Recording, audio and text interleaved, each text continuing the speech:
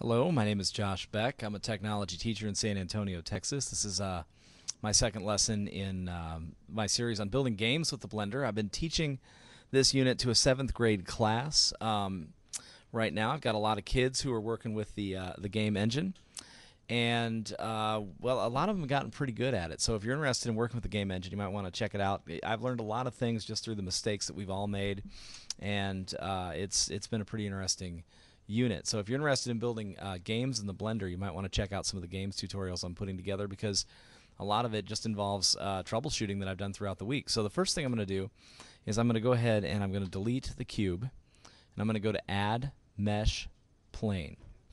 I'm going to resize the plane and um, let's see I'll go ahead and I'll constrain it to the x-axis and make it a little skinnier. Let's go ahead and make it y there. Okay, um, and then we get a nice rectangle. All right, let's take that rectangle, let's extrude the region downward, make a small um, rectangular um, cube out of it. Now I'm going to go into object mode. All right, and in object mode, I'm going to pick the logic buttons, which is the little purple face. Okay, so uh, what we're going to do is we're going to create a launch pad out of this and it's going to bat a sphere a lot like a baseball. Um, over here we've got our sensors, our controllers, and our actuators. So I'm going to add a sensor. I'm going to add a controller, and I'm going to add an actuator. And the defaults just happen to be what we want. We always want this particular um, particular uh, motion to take place. All right, and right we want motion. All right, so in the motion category, I've got three fields. Each one represents a different axis. So let's go ahead and just change the first one to point 1. Now if I zoom out and I hit P, you can see that the plane rotates. You can also use negative numbers. I'm going to change that 1 to a negative 1.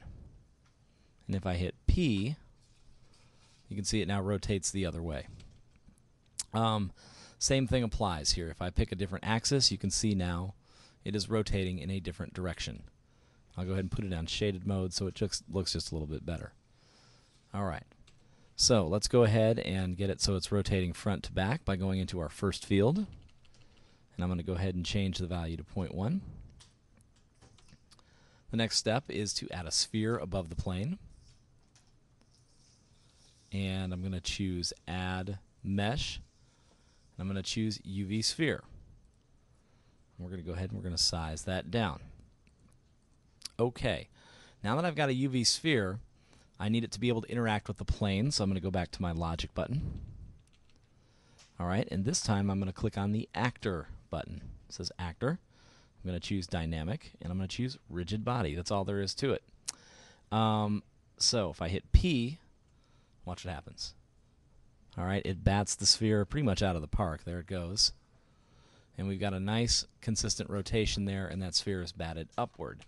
Okay, so here's some of the problems that people run into when they're doing this. Uh, the sphere itself, a lot of times if you move an object in edit mode, you might mess the object center up. So this white circle here, that's the object center. All right, and you need to make sure your object centers are, are taken care of. So if you go into the editing panel and you choose center new, all right, the center will be snapped back to the object, uh, to the center of the object where it was originally. Um, same thing here. Let's take a look at this, and I'll go ahead and I'll move the center up to where the cursor is by clicking center cursor. Now we've got our white center for this plane in a different location. And you'll see that if I play the animation now, the plane is rotating around that center. And you might get some strange results if uh, your center's in the wrong place. So just by clicking center new, the white goal moves right back to where it where it should be. Okay, so let's go ahead and open up a student project from this week. This one's pretty neat. This was done by uh, one of the students in my class. And what we have is we have the maze from last time. and we have a plane and a sphere just like we set up a second ago. Let's just go ahead and watch what happens first. If I hit P, all right, it's a little choppy because of the screencast software. We've got the sphere drops into the maze. Now, without the screencast software running, that would run very smoothly. Um, let's look at it through the camera once. Watch what happens. We've got the camera set up to follow the sphere so that as it moves, and it's a little choppy through the screencast software, but you can get the picture. All right, it bounces right down into the maze after being flung through a series of rings. All right, so how do we do this? Well, we've got our plane.